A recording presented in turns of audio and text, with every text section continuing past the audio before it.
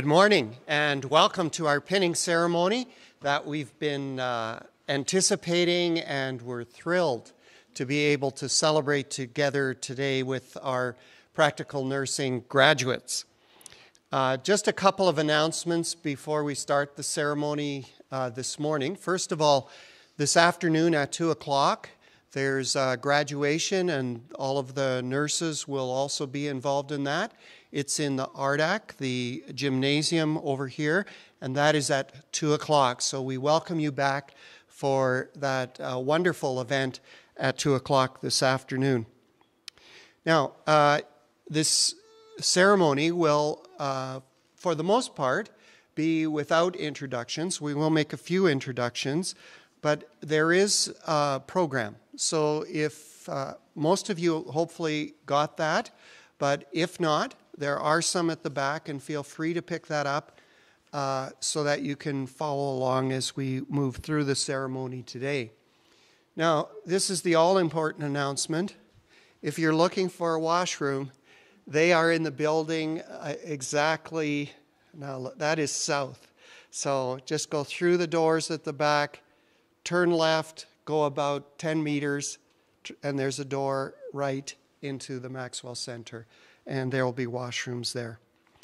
Now, this after or this morning, they, we want to give ample opportunity for you to have uh, photos. So you'll want to get out your phone and put it on silent or put it on vibrate, but keep it out so that you can get the photos that you want. Now, uh, just to make sure that you know, we do have a professional photographer, Nicole, at the back, and uh, she's going to be taking photos. Those are going to be uploaded uh, to the Prairie Facebook page, so they will be available for you. But you may want to catch your own, and uh, especially when your graduate is here at the front, uh, you may even want to make your way down here in order to capture that uh, snap. Now, we used to say snap. That's a, a bygone age. Sorry, I'm an old man. So uh, now, Nicole is going to, uh, she mentioned she'd like to grab one first. And then once she's grabbed her, she'll give you the thumbs, thumbs up so that you can go ahead. And we wanted, again, we want to make ample opportunity for you to get the picture that you want. And then at the end, again, we'll have another opportunity for photos. Um, I think We're going to uh, proceed then right into the processional. And uh, so we're delighted that you can celebrate together with us the 2022 pinning ceremony.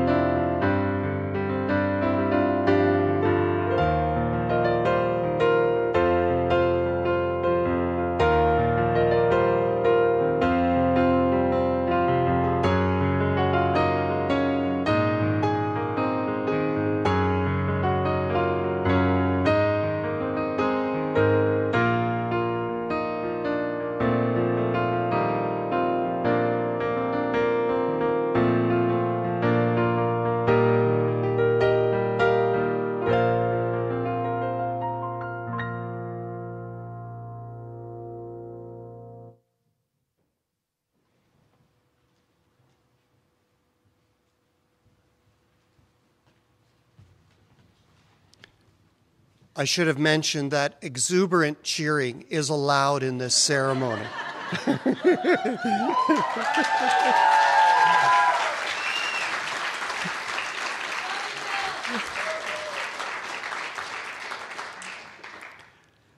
Uh, would you uh, join me as we begin our ceremony today with a prayer? Gracious and loving God, we are grateful that you are a healer. And the evidence of the Bible is that when you came into our neighborhood through Jesus, that you had compassion on people and you healed the sick. We thank you that each of these graduates have committed themselves to follow you into a world of sickness to bring hope and help through serving others as your hands and feet. Thanks that we are able to meet together in person to celebrate their achievements this morning and I ask that these graduates will feel a great sense of your smile in their lives. Help them to live out the commitments that they will make this morning with great joy and fulfillment. And may you be honored in this service. We commit it to you, and we do it in Jesus' name. Amen. Since the inception of the practical nursing program at Prairie, the program and the faculty have been provided by Bow Valley College. Bow Valley College has its main campus in downtown Calgary, and it is one of the largest, maybe the largest, and most reputable practical nursing providers in Canada. This partnership is a unique linking of a public college and a private college in which Bow Valley has been willing to work with Prairie to deliver a practical nursing program in a Christian faith based environment. As far as I know, the only faith based PN program in Canada. The Practical Nurse program then combines an accredited biblical uh, theological uh, foundation with an accredited practical nursing training. So, learners, these learners, who successfully complete the program receive both a diploma in ministry from Prairie as well as a practical nurse diploma from Bow Valley College. Now, I am delighted this morning to welcome uh, Janet Yorkie, who is the Dean of the School of Health and Wellness at Bow Valley College, to bring comments and greetings. Now, just before uh, Janet comes, I'm not sure if Patrina is here. Not yet. Well, if she comes later, I'll f- make sure that I uh, introduce her as well. But welcome, Janet. We're so grateful that you could join us today.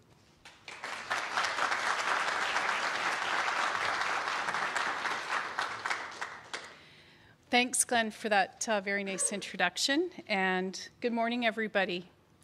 It's a fine day for a pinning ceremony and a graduation. I'm excited to be here and I'm delighted to have the opportunity to share a few words.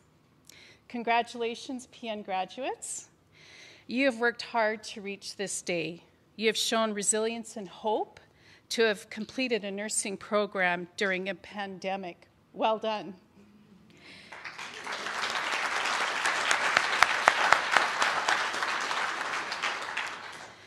My wish for each of you is a strong and healthy beginning to a career that will take you places you never imagined.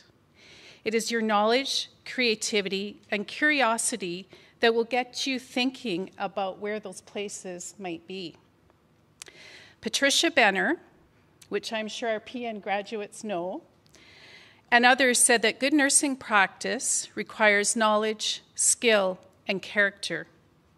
We can teach knowledge and skill, but we, can we teach character?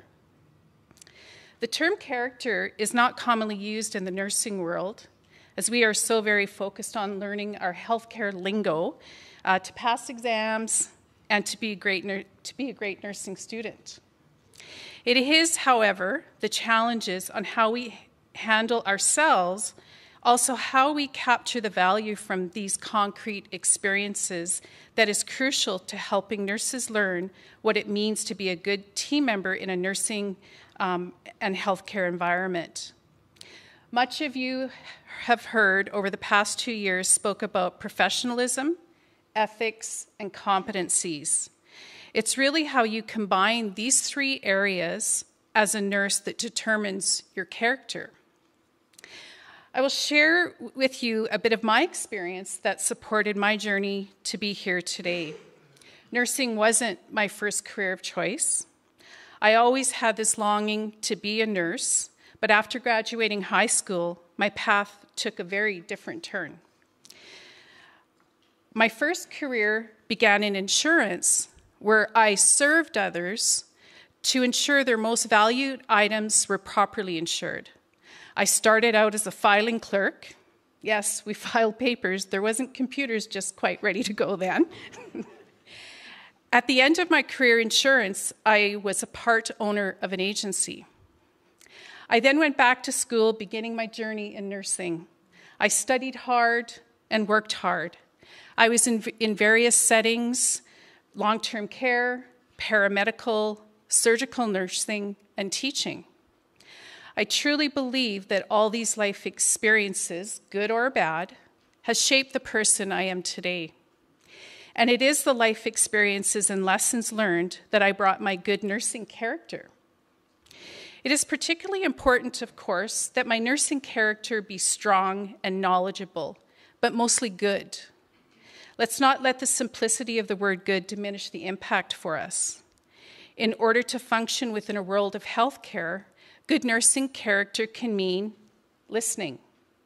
Good nursing character can mean allowing others to speak first while you listen to ideas that may change the direction of an illness.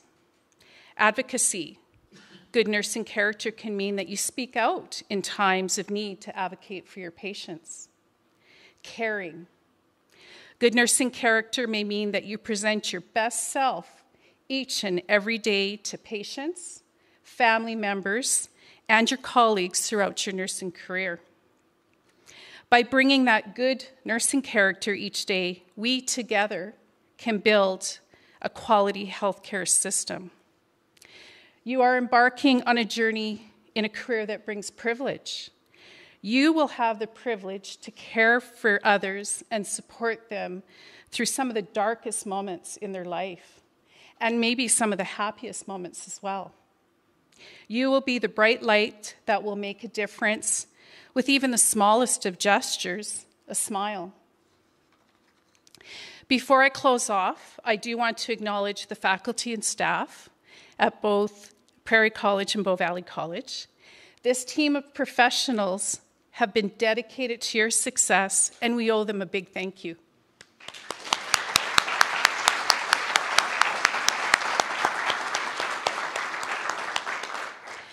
I know that each of you will make a difference and do some amazing things. I ask one thing always keep your heart open and to make that difference in the people's lives that are in your care and trust. Thank you and have a wonderful day.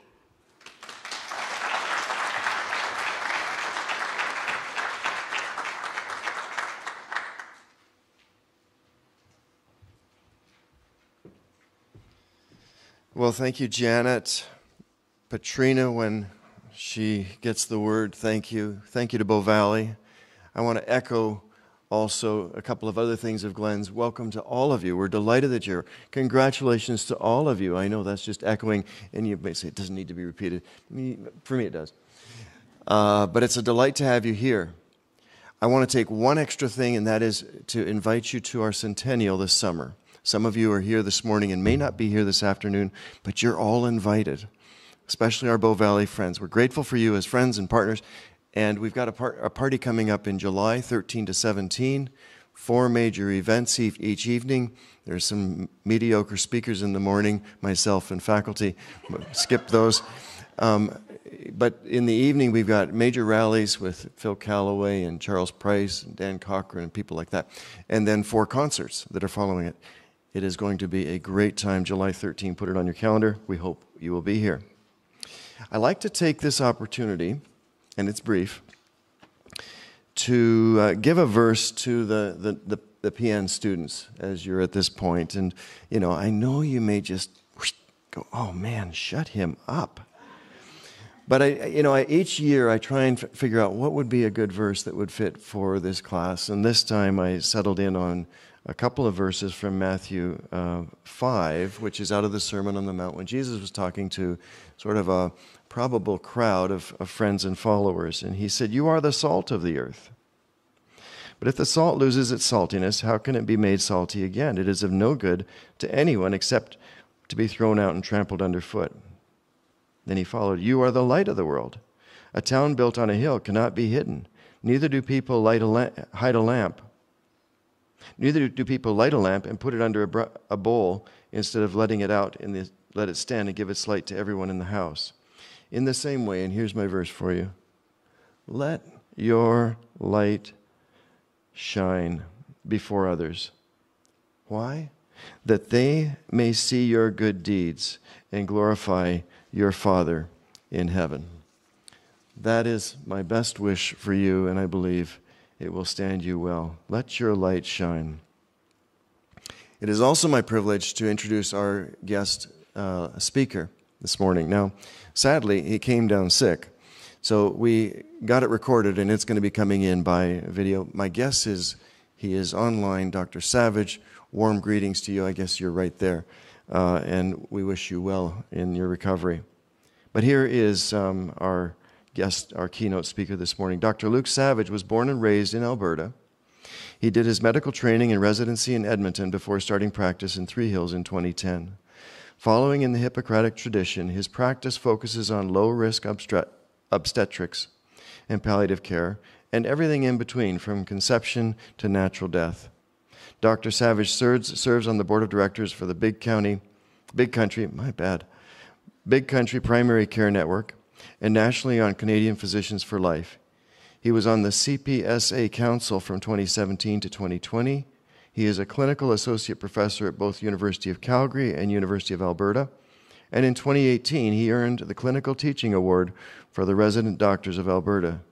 Dr. Savage enjoys cycling and being outdoors, time with his wife and four school aged children, and connecting with community through faith and sports events and we consider you a good friend and partner, Dr. Savage. Are you here? Oh, that's the, that's the camera. You, Dr. Savage. let's, let's roll that film.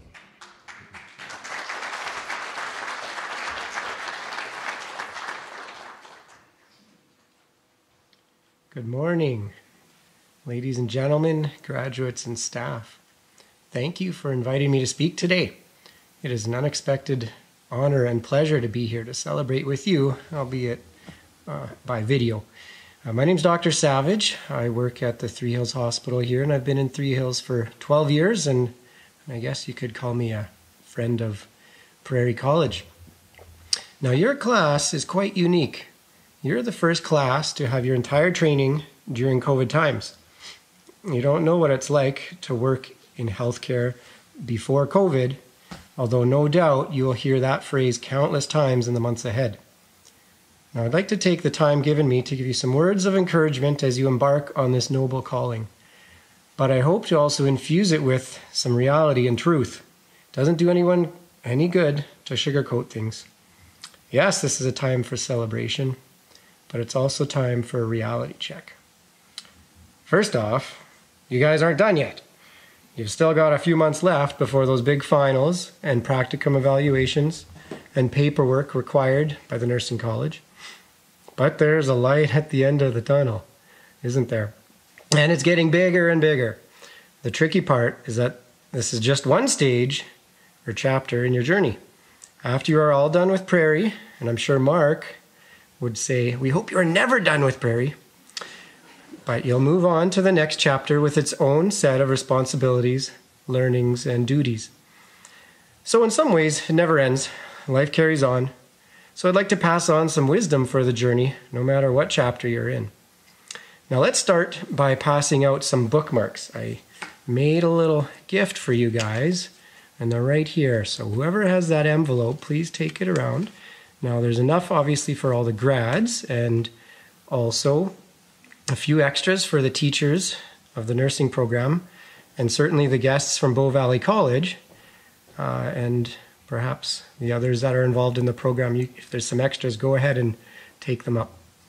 Now, this bookmark serves several purposes. First off, it's a bookmark, obviously. Um, and what you'll notice is that there's a nice little picture of the sunset saying Prairie College on it. You're kind of going off into the sunset in some ways.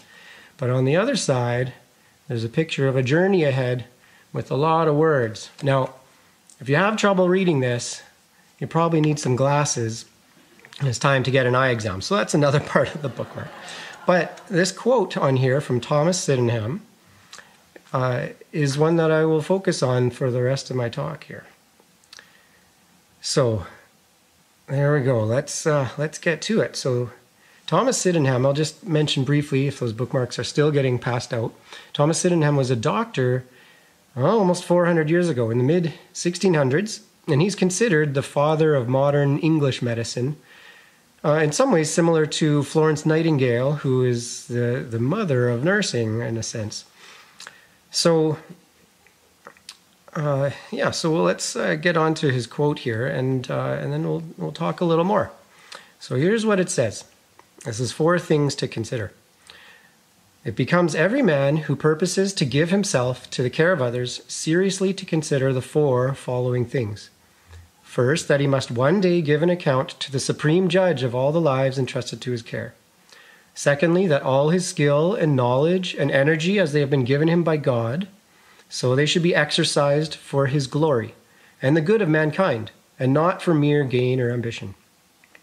Thirdly, and not more beautifully than truly, let him reflect that he has undertaken the care of no mean creature. For in order that he may estimate the value, the greatness of the human race, the only begotten Son of God became himself a man, and thus ennobled it, in, excuse me, ennobled it with his divine dignity, and far more than this, died to redeem it. And fourthly, that the doctor or nurse being himself a mortal man, should be diligent and tender in relieving his suffering patients, inasmuch as he himself must one day be a like sufferer. Now, that was written in 1668, and that was before stethoscopes, before blood pressure cuffs, before antibiotics, before a lot of things we enjoy in, in modern medicine. Back then, you know, it was it was probably a lot tougher than, than now. You would just had to use your powers of observation and comforting the patient and, and easing them in whatever malady they might have. Now, I've tried to summarize Thomas Sydenham's uh, quote there into four basic principles, and I think they come down to these ones transcendence, charity, dignity, and compassion. Now, each of these could be a lecture unto themselves, or several, so buckle up. All right. So it doesn't take long these days to see how our healthcare system in the Western world is broken. We focus on reactive treatments of disease rather than proactive treatment of, for health. There are staffing shortages everywhere. Many people cannot get a doctor or see one within a reasonable time frame. Wait times for surgeries and cancer care are prolonged, leading to more symptoms and increased suffering. Nursing staff are overworked and burnt out, I've talked to many that are afraid to go to the hospital for fear of being separated from loved ones due to inhuman policies that limit visitors in times of need. You graduates are entering an uphill battle, and it will grind you down if you're not grounded in a firm foundation with good community supports around you. Now, thankfully, the program you've been going through here at Prairie has taken this into account. The battle you're embarking on is a noble one and can be overcome if you are focused on the right things. And it starts with the principles that Thomas Sydenham identified some 400 years ago. If every healthcare professional kept these principles near and dear to their hearts every day, we would have a dramatically transformed healthcare system. Indeed, our hospitals, clinics, and care homes would be places of true healing for the whole person, not just places of disease care in a broken system but true health care and joyful living. Now, let me show you how by expanding a little bit on these concepts further. And a little later this morning, Jan will lead you through your nurse's pledge, which has many of these same principles. So, see if you can pull them together and find the parallels. So, firstly, Dr. Sydenham says, we must one day give an account to the supreme judge of all the lives entrusted to our care. Now, I think this is summarized in the principle of transcendence, of something beyond what we just see. Uh, but our culture would probably use a word like accountability. But really, it starts, I think, with transcendence. There are moral consequences to our actions. This implies that we are responsible for the choices we make and the quality of care that we provide. We must give an account for what we do. In the secular world, the professional colleges take on this role embodied through guidelines and procedures and policies. I've heard you've learned lots about those, and you'll get to know ROPs or required organizational practices. Yeah. But this quality control is only activated if someone complains or finds you out. And furthermore, it's subject to the ruling authorities of the day. So colleges can change their standards, and governments can also get involved. And the fear of reprisal from a professional organization is an imperfect deterrent to poor conduct.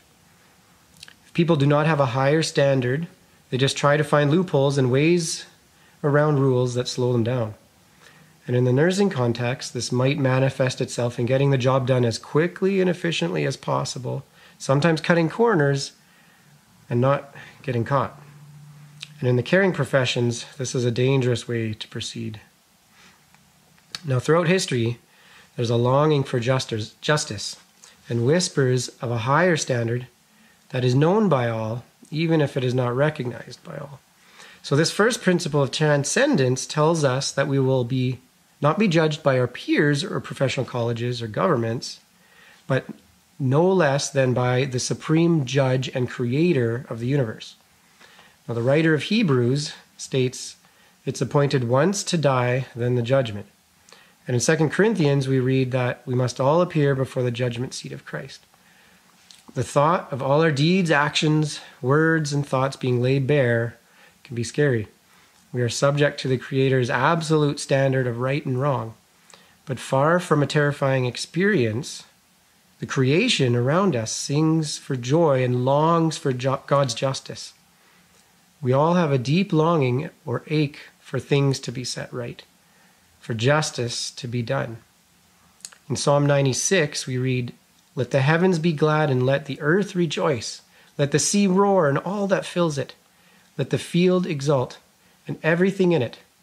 Then shall all the trees of the forest sing for joy before the Lord. This sounds like a big party. And what for? Well, for he comes. For he comes to judge the earth. He will, he will judge the world in righteousness and the peoples in his faithfulness. Several other Psalms have similar refrains. God will judge the world with righteousness and equity. We don't know exactly when that will be, but it seems sooner with every passing day. Now, those who love God and are covered by Christ's forgiveness have nothing to fear.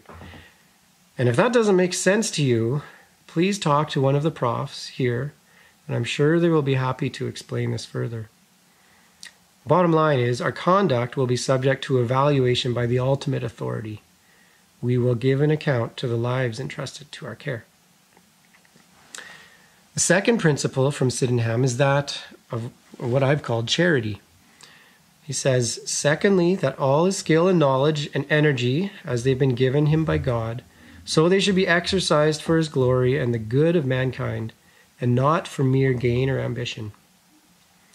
Now, what I mean by charity is an older definition. It's not an organization you donate to, but it's one that you yourselves are, are that entity that engages to help others and use your skill and your own goodwill. Merriam Webster's dictionary defines it as generosity and helpfulness, especially towards the needy and suffering, and benevolent goodwill toward or love of humanity. Charity is one of these words that is losing its meaning, usually replaced with love. But real love is not merely a feeling, but a commitment to one another. That's what Terry Glaspey said uh, on reflecting on C.S. Lewis's work. Now, it takes a special person to be a nurse, and it's often a thankless job, and you get to see humanity at their most vulnerable and needy, and sometimes at their most cranky and critical. There are easier ways to make a buck, and of course, that's not why you are entering into this calling. Paul tells us in Colossians that in whatever you do, work heartily as for the Lord and not for men. Or in the message translation, it's read as keep in mind that all sorry, keep in mind always that the ultimate master you're serving is Christ. So to be a good nurse and to be able to continually enjoy what you do and not get burnt out, you need to have the same servant attitude that Christ had. He helped others because he loved them. but not just affectionate feelings, and rather it was a deep commitment and concern for their well being. And He loves us despite what we do or how we respond. And Jesus knew many would turn away and forget Him. Now just think of the ten lepers in Luke 17. As Jesus and his disciples were traveling near the border of Samaria, ten lepers from a village came out crying for mercy. After being shut out of community for who knows how long, but Jesus knows, they were desperate for help, desperate enough to potentially break the law. Now, the old Mosaic law from the Old Testament required anyone with leprosy or other infectious diseases to be outcasts, walking around calling, unclean, unclean, and to live outside the camp or the village. Now, being shut out of community, while it might help to isolate a disease, isolates the soul and wears one down. Proclaiming to everyone over and over that you are unclean eventually seeps into one's identity. Isolation can be a death sentence if it's prolonged. But these lepers, rather than call out unclean, they called out for mercy. They knew where to look for help. Jesus doesn't heal them on the spot, he just directs them to show themselves to the priest. Now, the law at that time required that the priest examine and declare that someone with a rash or illness was healed. And then sacrifices and a cleansing process had to be made before returning to the community. So these 10 lepers call out for mercy. Jesus doesn't heal them right away, but they have enough faith to start heading towards the priest. Now, just imagine this for a minute here. On their way, they notice that their skin is starting to improve. Their leprosy is going away. Now, it's interesting that leprosy is the disease used here. I know it might be something different depending on the accuracy of translation, but for the sake of this illustration, let's go with leprosy. Back then, it was like a death sentence. It's something that you or I will likely never see, but it would be similar to having a diagnosis of stage four cancer in our time in terms of, of the prognosis and the devastation it could bring. Now, leprosy is caused by a bacteria that slowly dissolve, or sorry, slowly destroys nerve cells so that patients cannot feel pain. So interestingly, these 10 lepers would be seeking healing not so much from their physical pain, since they couldn't feel any, but more so from the psychological pain their condition had brought. We can only imagine the relief and incredible hope that would have sprung up in them as they realized their skin was healed. Maybe one of them stepped on a sharp rock and actually felt a stab of pain in his foot. Maybe another started feeling arthritis pain in his knees for the first time as he walked. But as these new sensations started to flood their brains, another realization dawned on them. They could get their lives back. They could move back to town, maybe go and hug their family for the first time in two, five, maybe 10 years. They could get close and touch people. To imagine this transformation, just imagine someone with stage four cancer telling, being told it's inoperable and then being healed. You may say something, you, you may see something like that. I have, and there are no words other than praise God. And if you keep your eyes open, you will see miracles. So, back to the story. With this newfound realization and joy, what do the lepers do? Well, we don't really know. Uh, the author Luke doesn't tell us. We don't even know if they went to see the priest. Although I would assume so because the priest would give them the go ahead for cleansing and reintegration with community. But here's the whole point of bringing up this account only one of the ten lepers came back to Jesus. He actually turns around halfway to the priest and come back, comes back to say thank you. He falls down at Jesus' feet and worships. And we're told he's a Samaritan, probably the least likely to talk to a Jew or ever give thanks to one, let alone bow down. Now, Oswald Chambers has said if we are devoted to the cause of humanity, we shall soon be crushed and broken-hearted, for we shall often meet with more ingratitude from men than we would from a dog. But if our motive is love for God, no ingratitude can hinder us from serving our fellow men. And that's what it's like in healthcare. Most people will walk away and get on with their lives no matter how good you treat them. A few will say thank you or even come back and give you a, thank you card. But that's not why we care for others. That's not why Jesus healed the lepers.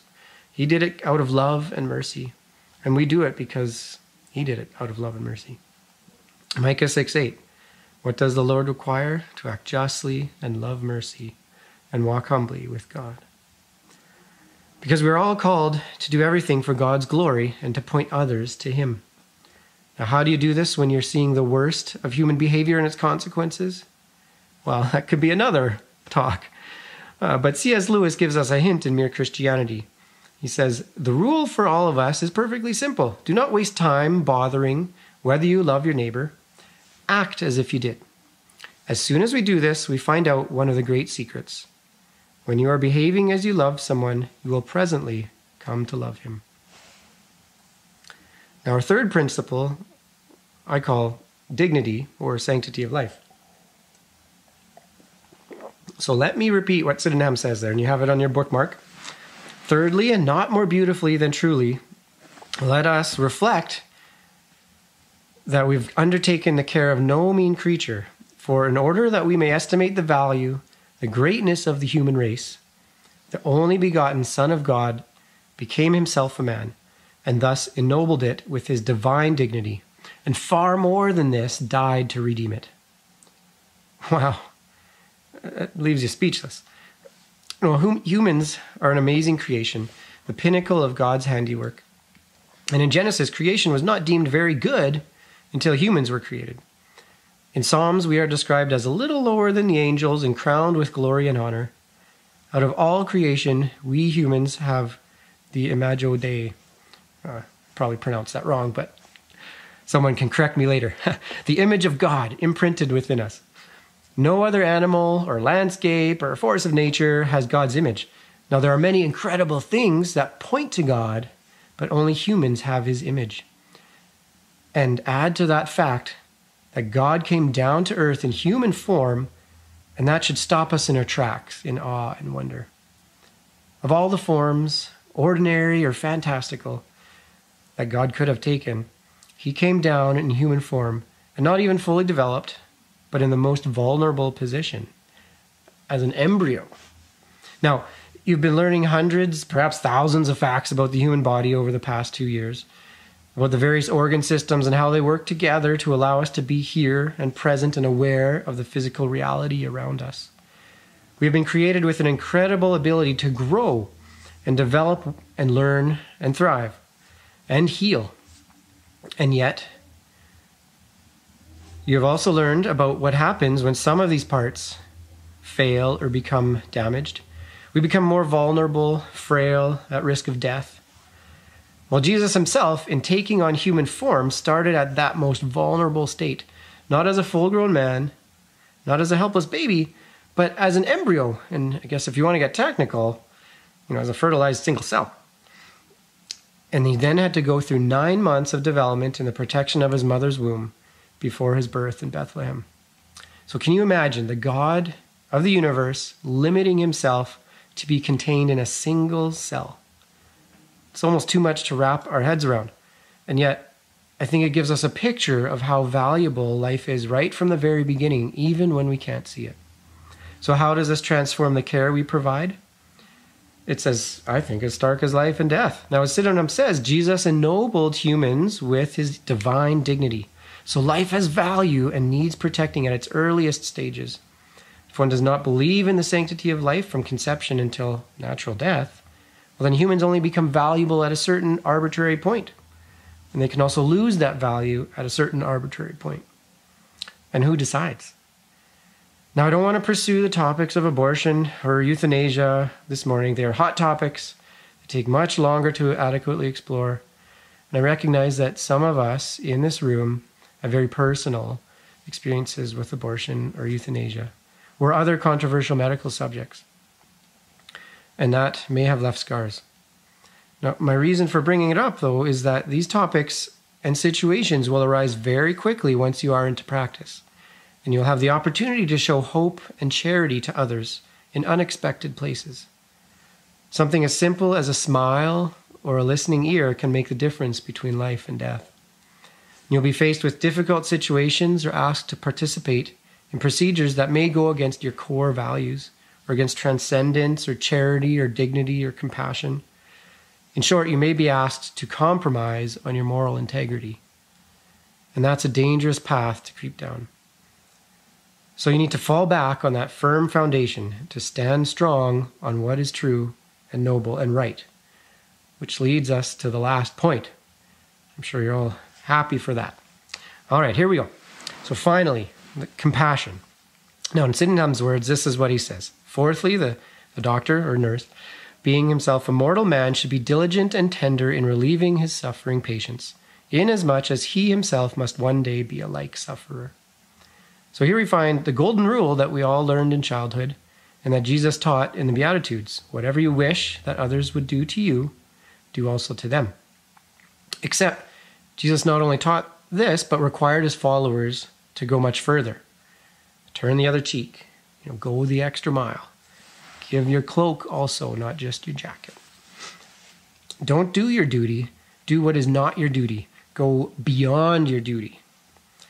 Compassion at its root means to suffer along with someone, to join them in the journey, and to help carry their load. And yet, one of the dangers is that there's so much suffering all around that one can be drained and brought low quickly, in danger of spending oneself without the time or knowledge to recharge. And many schools are adding wellness lectures and classes on resilience, but I think these are all doomed to fail if they rely on our human efforts. There's only one who knows how to lift our burdens. Jesus calls us to learn from him and take on his yoke. When we turn to Jesus as the source of our strength, we find that we can extend that strength and comfort to others in a way that would be impossible by our own efforts. And I think this last point also touches on looking at the bigger picture, recognizing that we are all frail creatures and that life is short. Our mortal frames do not last forever, our days are numbered. When we are young, we rarely have health concerns, and yet in a split second, any one of us can become a patient and be on the receiving end of healthcare. That's what Sydenham is getting at. We will all eventually need help, some sooner than others, but because of this fact, let us treat each other appropriately, coming alongside those that are struggling, helping to carry each other's burdens. Don't just rush off to the next task or text message, but take the time to focus on the person in front of you to listen and connect personally. You know, there are many industries that just try to put people through like a conveyor belt, but healthcare should not be one of them. Healing is not merely healing of the physical ailment, which is only a small part of a person, but unfortunately we spend virtually all our time attending to and learning about. Rather, true healing involves the whole person. You know, their mental state, their spiritual state, their social state. I'm sure there's others. But ultimately, the state of their soul before Creator God. By coming alongside others with encouragement and love, you work on all these facets. And so, I'll wrap up. Today will be a blur for many of you, a brief opportunity to celebrate together. Get some pictures, maybe some cake, and if there is, save some for me but perhaps some relief that you're almost done. Just not yet. So once all the course requirements are done, the real challenge begins. This program with Prairie College is unique, trying to give you a deeper foundation for service of fellow humans than simply, I need a job or I want to help people. Rather, with Christ as the foundation and reflecting on the wisdom of Thomas Sydenham and others, you will be solid lights in the darkness. You'll be able to withstand the storms of the culture and of this broken system that we are in, and point patients to the one who brings true healing, not just for the body, but for the soul. So, once again, graduates, congratulations. Just a little longer to go. Sorry I couldn't be there in person, but I look forward to working with you at the hospital and watching you pour love and care into those in need. God bless you.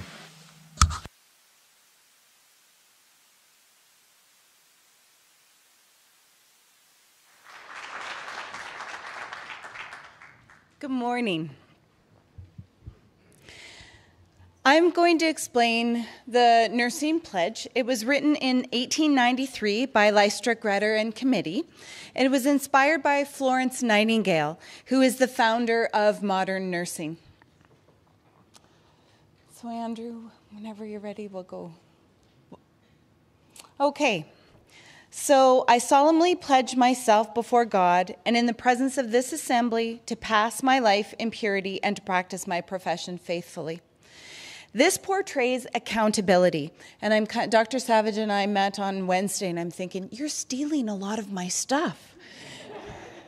so this is it is a statement of ethics, what is good and what is bad, and principles of nursing care.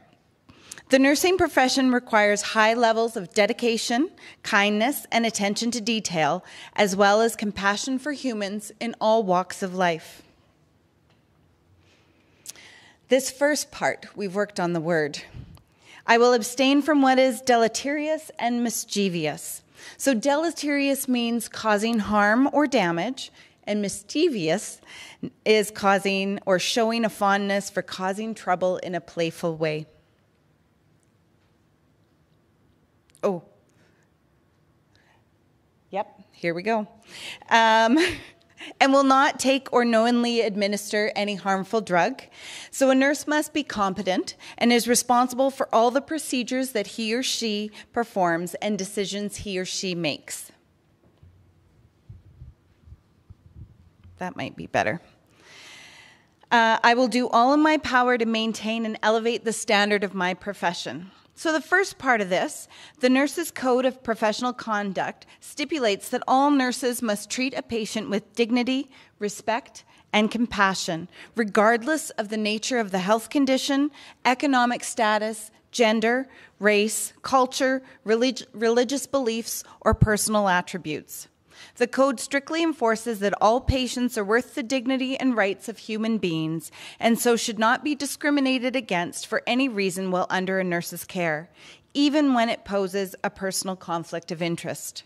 The second part of this, about um, accountability, or the standard of my profession, the nurse should constantly seek new knowledge to improve their nursing practice and will hold in confidence all personal matters committed to my keeping. Nurses must also protect the patient's right to privacy. Information must be confidential and not divulged to anybody unless they are permitted to do so by the patient. And all family affairs coming to my knowledge in the practice of my calling. They must also never allow their personal issues or beliefs to come in the way of delivering quality health care to their patients. With loyalty, I will endeavor to aid the physician in his work. So, teamwork.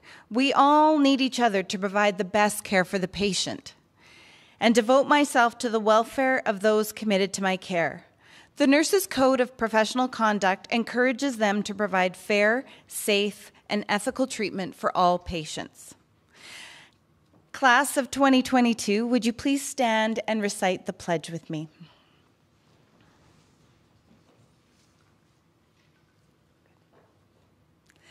I solemnly pledge myself before God and in the presence of this assembly to pass my life in purity and to practice my profession faithfully.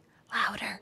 Stain from what is yeah, and mischievous, and will not take or administer any harmful drug.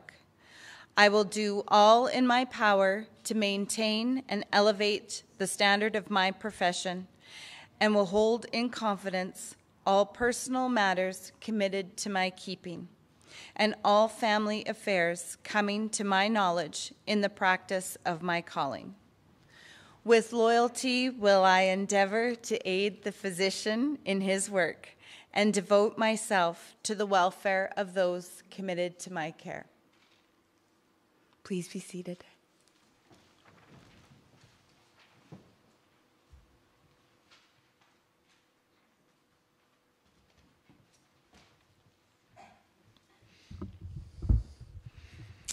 Thank you, Jan to the pinning ceremony. A pinning ceremony is a symbolic welcoming of student nurses into the nursing profession. It signifies the completion of their educational requirements that enable you to take your nursing exams. The history of nursing pins dates back to the Crusades in the 12th century. Monks initiated the Knights Hospitaller that cared for injured and ill crusaders who were given a Maltese cross, which was considered to be the first form of a badge given for nursing. After the Crimean War in the mid 1800s, Queen Victoria uh, awarded Florence Nightingale the Royal Red Cross for her service as a military nurse during the conflict. Nightingale later presented a somewhat similar Medal of Excellence to her nursing students. Pinning ceremonies often include a candle lighting or a lamp lighting, which commemorates Nightingale's nighttime aid to the wounded soldiers by candlelight. Thus, she became known as the Lady of the Lamp. The psalmist in Psalm 119, speaking of God, says this Your word is a lamp unto my feet and a light unto my path. As each of you step forward to center stage for the pinning, you will also receive a Bible from Gideons International. It's our desire as faculty and staff of Prairie College that as graduates, you would go forward being God's lamp and his light in a world of hurt and suffering.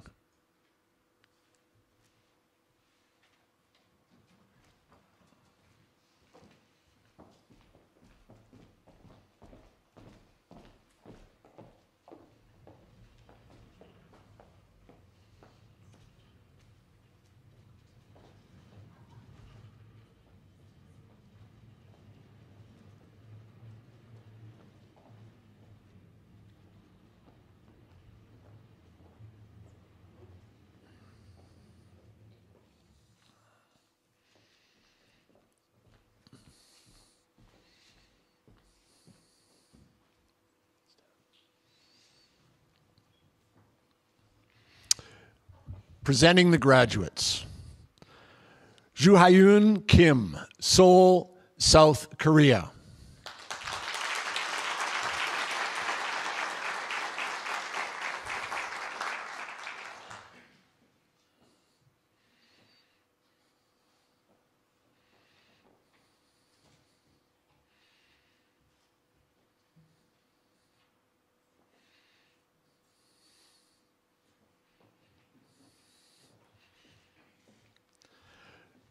Jillian Parrish, Red Deer, Alberta.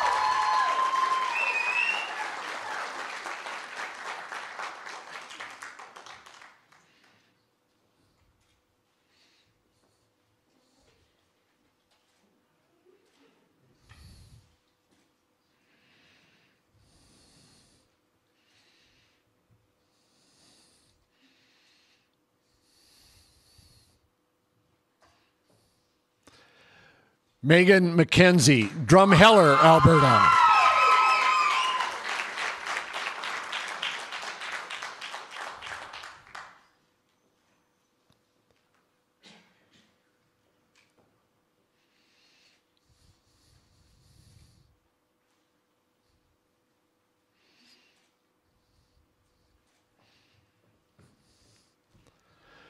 Brittany Blanjou, Busby, Alberta.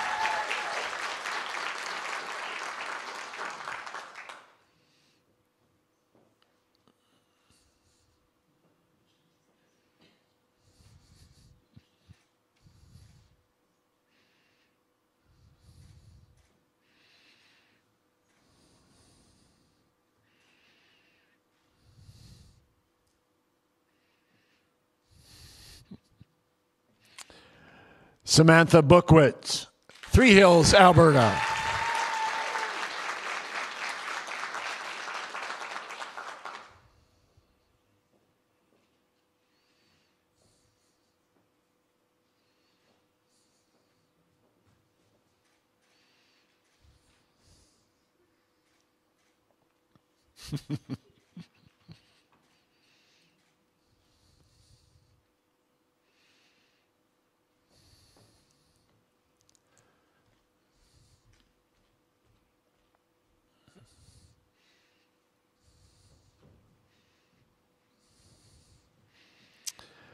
Amanda Rempel, Okotoks, Alberta.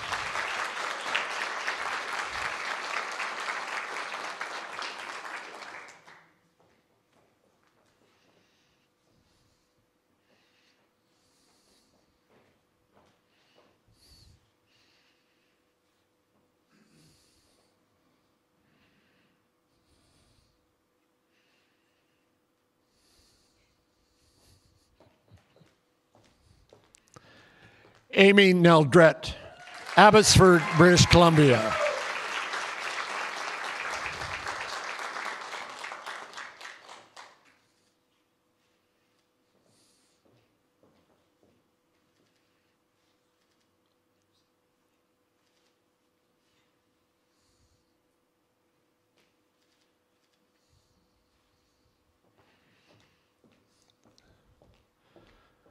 Robin Jesperson, Spruce Grove, Alberta.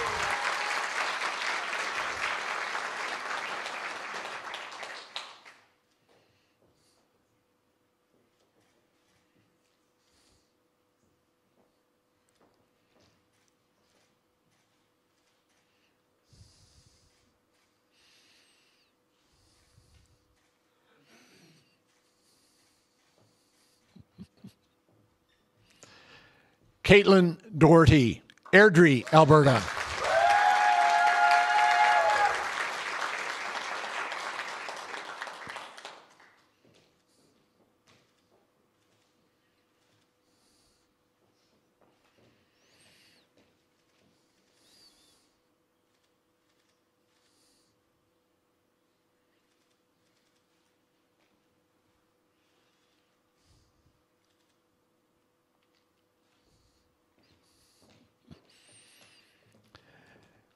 Caitlin Stiles, Edson, Alberta.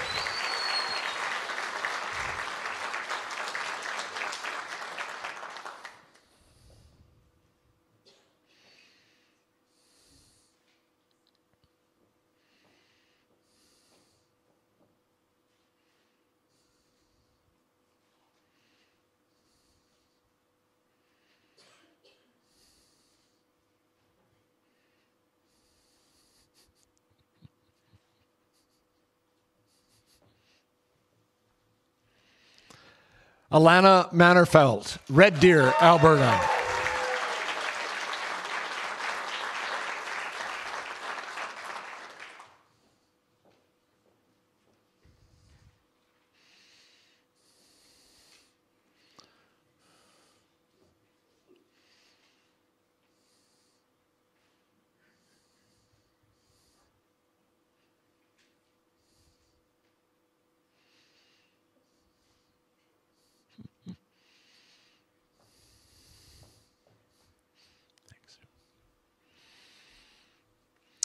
And unable to be here, but hopefully online, Rachel Debray from Sexsmith, Alberta.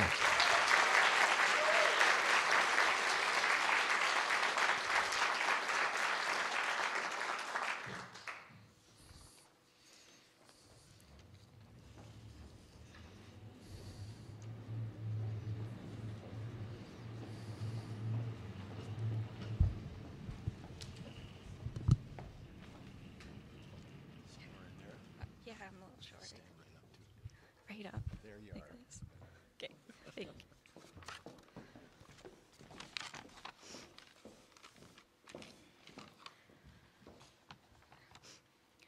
Hi. Uh, good morning. Uh, my is Alana Mannerfelt, and I have the honor to be able to give this speech today on behalf of my wonderful class here. Thank you all for coming to Three Hills. I know it was probably a drive for a lot of you. Um, thank you for coming here to support us today. As everyone here knows, that the students are thankful for much more than just one day of support.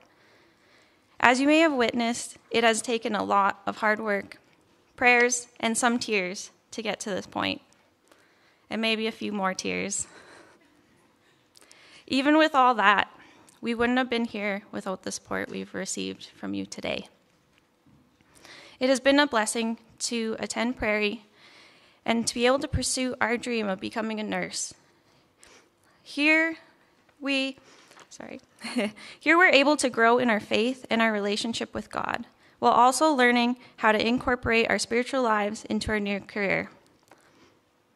Even though it has been hectic, being a part of the nursing program while attending Bible classes oh, sorry, that was kind of, um, it's been hectic while doing their nursing classes and attending the Bible classes.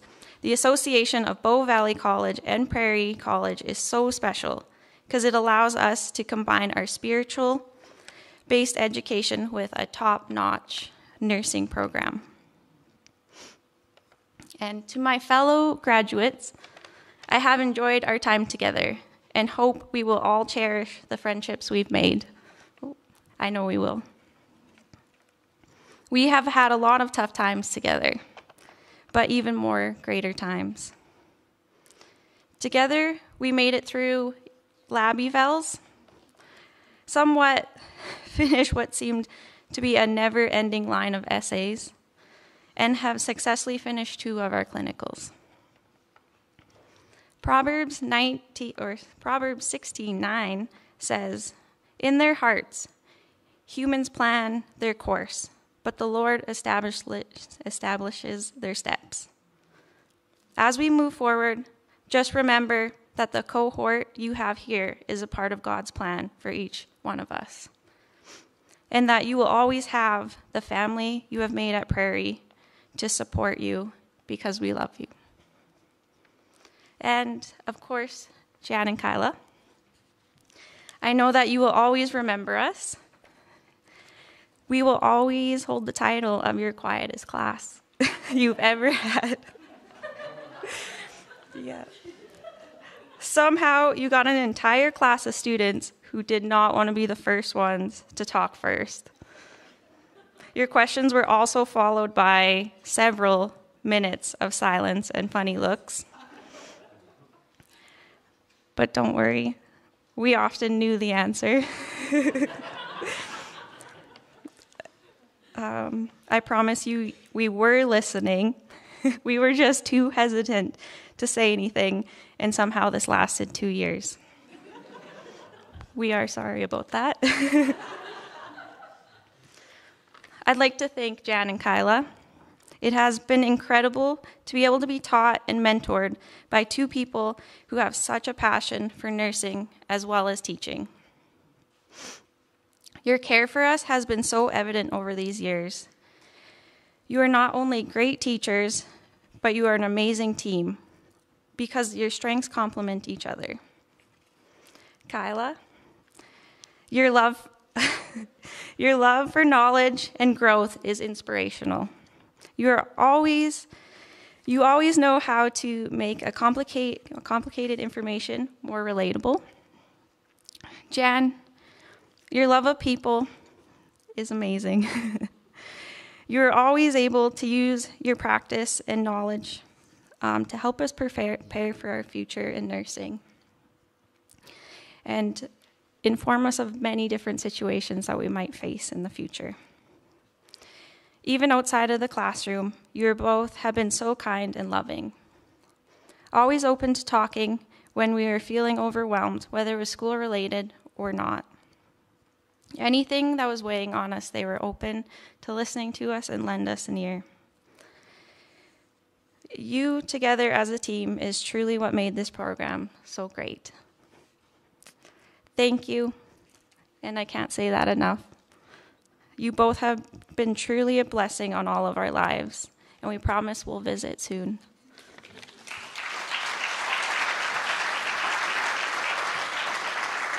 If you'd like to come up, we do have some flowers for you.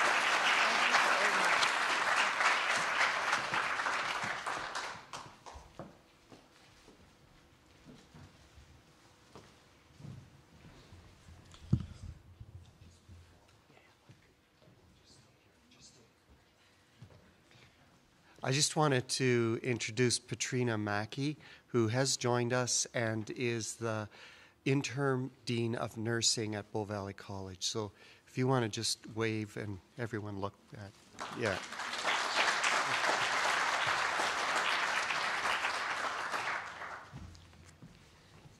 It's my privilege to just be able to bring this time to a close by praying for all of you. Uh, join with me in prayer. God, we're so grateful. We're so thankful for each one of these graduates, for the complexity of their lives and their gifts and the stories that they've uh, had before they came here to Prairie and the stories that are that they've written these uh, last couple of years and the stories they'll go on to, to write. God, we thank you that they're part of your grand story of love and redemption. We celebrate with you, and we are uh, so grateful for designing them to be uh, the wonderful caregivers that you've made them to be. God, we ask for your help. We all continually need you, and these women need you as they're finishing up they need you, and they need your provision and your grace in, as they move into the workplace, uh, in their relationships in the workplace, in their uh, and difficulties that they'll face as they try to give care in very challenging times and very difficult times, as they wrestle with their own uh, stress and anxiousness and exhaustion. God, we ask that you would uh, please protect them. And God, we pray that you would uh, help them to be the hands and feet of Jesus, pointing people to your love in embodied ways as they care and, and as they listen and as they uh, relate in love to those that they are uh, in charge of. And God, I, uh, I want to use this prayer from Paul's letter to the Ephesians, um, and I pray this over them. I pray that out of God's glorious riches, he may strengthen all of you with power through his Spirit in your inner being, so that Christ may dwell in your hearts through faith. And I pray that you all, being rooted and established in love, may have power, together with all the Lord's holy people, to grasp how wide and long and high and deep is the love of Christ, and to know this love that surpasses knowledge, that you may be filled to the measure of all the fullness of God. Now, to him who is able to do immeasurably more than all that we can ask or imagine, according to his power that's at work within us, to him be glory in the church and in Christ Jesus throughout all generations, forever and ever. Amen. It's my honor to present to you the graduating class of 2022.